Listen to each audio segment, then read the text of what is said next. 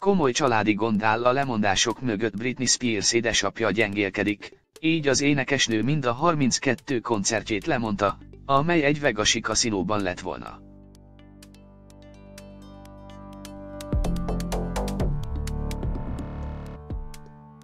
Britney egy Instagram posztban is közölte rajongóival a szomorú hírt, amihez egy fotót is csatolt a követőknek.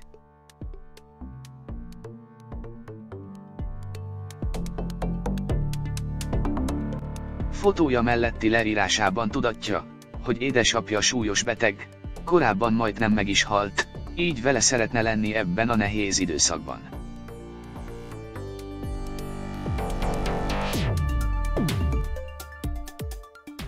A rajongók természetesen megértik Britney T. erőt és kitartást kívánnak neki. Egyelőre nem tudni, meddig szünetelteti koncertjeit az énekesnő, hiszen mindez édesapja egészségügyi állapotától függ.